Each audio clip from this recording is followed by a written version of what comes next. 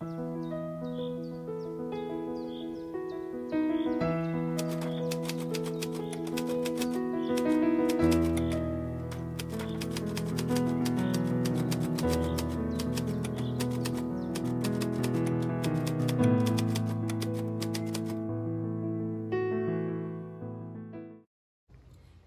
stellst meine Füße auf weiten Raum.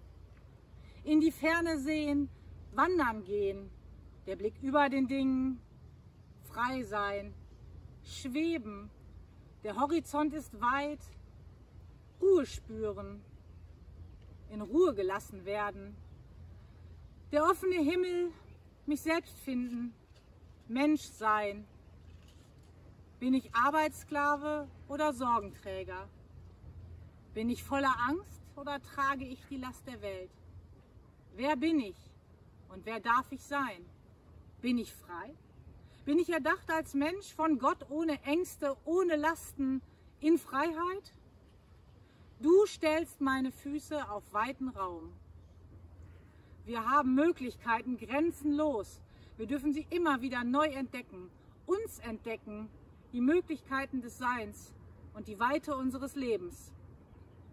Das erscheint nicht immer leicht. Bin ich eingesperrt im Beruf, in der Familie, in der Erwartung der anderen?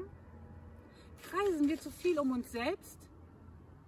Welche Konsequenzen hat ein Ausbruch?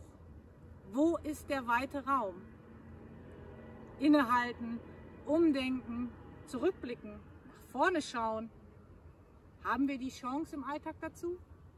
Du stellst meine Füße auf weiten Raum. Gott hat uns erschaffen als Wesen mit Kreativität, Lebendigkeit und mit allen Sinnen lebend. Der weite Raum erlässt uns Zeit und öffnet zum Träumen, zum Mutigwerden und zum Gedankenschweifen lassen. Du stellst meine Füße auf weiten Raum.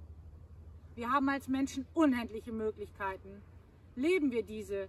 Sind wir frei? Sind wir mutig und stellen unsere Füße auf weiten Raum? Jetzt und immer.